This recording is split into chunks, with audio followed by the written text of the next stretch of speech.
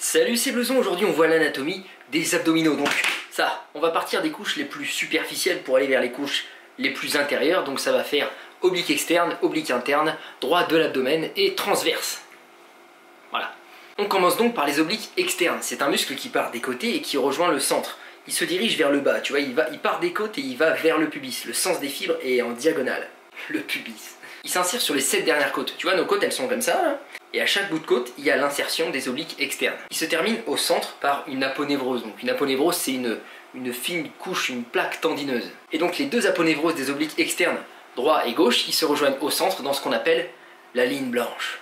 Et tu vas voir que les muscles des couches inférieures sont eux aussi accrochés à cette ligne blanche. Une autre chose importante, il est également inséré sur la crête iliaque, donc c'est le haut du bassin. Tu peux le toucher, hein, c'est vraiment, tu sens le bassin, c'est un peu hors cadre, c'est là, tu vois, c'est là. Ensuite, les obliques internes. Ils constituent la couche musculaire qui se situe juste en dessous des obliques externes. Si tu veux, c'est comme si on portait plusieurs couches de vêtements. Bah là, c'est le deuxième t-shirt. Il s'insère sur les quatre dernières côtes et sur le haut du bassin également, comme les obliques externes. Ils se terminent au centre en aponévrose eux aussi et rejoignent donc les obliques externes sur la ligne blanche. Eux, ils ont une forme d'éventail tournée vers le haut. Tu vois, ils partent du bassin et les fibres sont inclinées en diagonale vers ici. Donc c'est un peu l'inverse des obliques externes. Tu vois, les obliques externes, ils descendent comme ça, tandis que les obliques internes, ils remontent comme ça. On va s'arrêter un instant ici pour parler des fonctions des obliques externes et internes. En fait, ils travaillent en synergie ensemble. Tu peux pas isoler l'un des deux, c'est pas possible. Donc c'est pour ça que je t'en parle ensemble directement. Avec les insertions sur les côtes et sur le bassin, on peut comprendre qu'ils vont permettre une inclinaison du buste sur un côté, comme ça, tu vois flexion du buste sur le côté si tu veux. Ils vont également permettre une rotation du buste un peu comme ça, tu vois, si l'interne s'active d'un côté tandis que l'externe s'active de l'autre. Tu vois, ça fait les trucs qui se rejoignent comme ça. Mais que se passe-t-il si les deux côtés s'activent en même temps? Hein? Eh bah tout simplement, flexion du buste sur le bassin. Donc en fait, c'est déjà le mouvement que va faire le droit de l'abdomen, qu'on va voir juste après. Donc là, tu comprends que en fait, les muscles, ils s'entraident entre eux, tu vois, ils travaillent tous en synergie. Euh, ils sont pas, ça va pas être le muscle prioritaire qui va être fait pour faire une flexion du tronc comme ça sur le bassin, mais ils vont y participer en tout cas quand ils s'activent en même temps, les deux côtés, droit et gauche. Pour travailler tes obliques internes et externes, bah comment on fait? Donc il suffit de faire une rotation du buste ou une inclinaison du buste sur un côté contre une résistance. Donc euh, tu utilises un poids, une poulie, une charge, voilà. Contre-résistance, pas compliqué. On passe à la troisième couche, étant le droit de l'abdomen. C'est un peu lui qu'on désigne quand on parle des abdos. Tu sais, les gens qui disent euh, les abdos. Et eh ben, c'est lui qu'on parle en fait. C'est le six-pack qu'on voit, qu'on voit directement. Alors comment ça se fait qu'on le voit? Puisque c'est la troisième couche. Bah en fait, les deux premières couches, comme je t'ai dit, c'est de l'aponévrose. Donc c'est vraiment une fine couche tendineuse, tu vois, c'est un feuillet. Donc on peut voir le dessin du droit de l'abdomen quand même. En haut, il s'insère sur le devant des côtes. Tu vois, encore, tu as tes côtes comme ça. Il va pas s'insérer au bout. Non, non, non. Il va s'insérer sur le devant.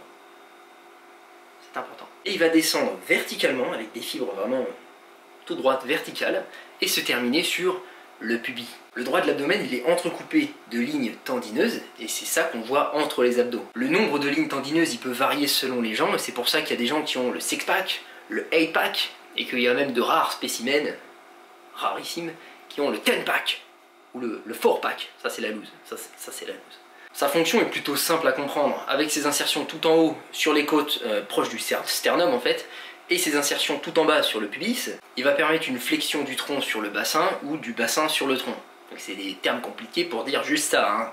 Donc, quand tu fais des relevés de jambes, pense bien que c'est surtout le bassin qu'il faut relever et pas seulement les cuisses. Sinon, tu travailles une partie de la cuisse. Alors, pour le travailler, bah, t'as compris, hein, il suffit de ramener le bassin sur le tronc ou le tronc sur le bassin contre une résistance. Quatrième couche, le transverse. C'est un peu le truc qui maintient tous tes boyaux à l'intérieur. Enfin, un peu. C'est absolument le truc qui maintient tous tes boyaux à l'intérieur. Il est très profond, hein, on ne le voit pas de l'extérieur. Il s'insère derrière sur les cinq vertèbres lombaires, donc dans le dos et il vient sur le devant former une espèce de ceinture. Il s'accroche également sur l'intérieur, donc la face profonde des sept dernières côtes, et sur le haut du bassin. Le transverse il se rejoint en une aponévrose sur le devant, un peu comme les obliques externes et internes, et tous se rejoignent donc sur la ligne blanche. Alors à quoi sert le transverse?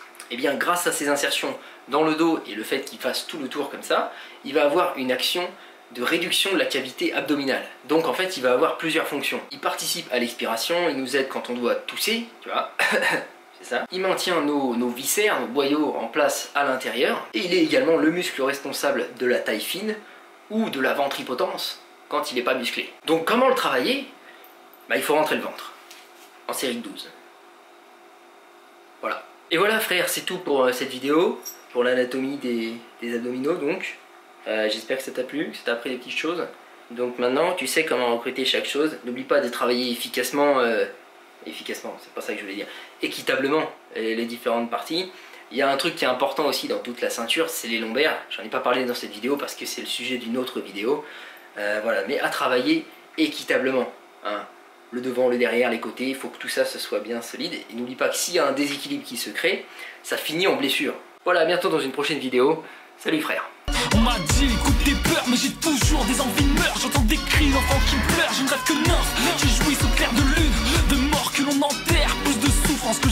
mon âme rayonne Sous une enclume, fils de la lune et du soleil.